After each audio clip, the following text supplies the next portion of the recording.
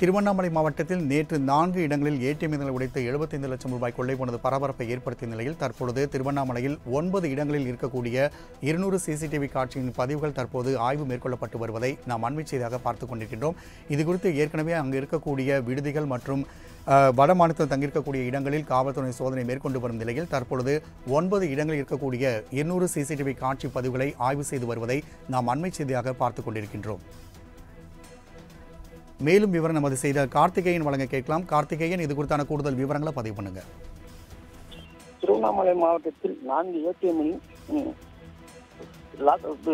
திருவண்ணாமலை நான்கு ஏடிஎம்மில் welding machine உடைத்து பணம் கொள்ளை போன சம்பவத்தில் நேற்று இரவு மு- விடிய விடிய எஸ்பி தலைமையில் ஒன்பது முக்கிய சாலைகளிலும் போலீசார் வாகன சோதனையில் ஈடுபட்டு வருகின்றனர். இது மட்டும் இன்றி திருவண்ணாமலை நான் ஒன்பது மூலையில் உள்ள இருநூறு கேமரா அது மட்டும் இல்லாமல் வீடுகள் பொருத்தப்பட்டுள்ள சிசிடிவி கேமராவில் போலீசார் விடிய விடிய ஆய்வு மேற்கொண்டு வருகின்றனர். இவர்கள் மட்டும் இல்லாமல் வங்கியில் பண நிரப்பும் ஏடிஎம் மிஷின் பண நிரப்பும் தனியார் ஊழியர்களும் விசாரணை மேற்கொண்டு வந்தனர். முதற்கட்ட விசாரணையில் அவர்களுக்கு இதுக்கும் எந்த ஒரு சம்மந்தம் காவல்துறை வட்டாரத்தில் தெரிவிக்கிறது இந்நிலையில் இரண்டாம் நாளான இன்றும் பல்வேறு இடங்களிலும் சோதனை நடைபெற்று வருகிறது.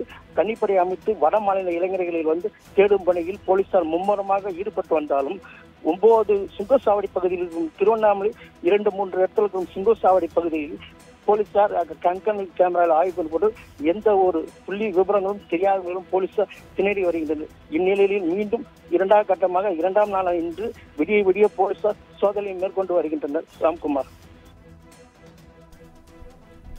கார்த்திகேயன் தகவலுக்கு நன்றி.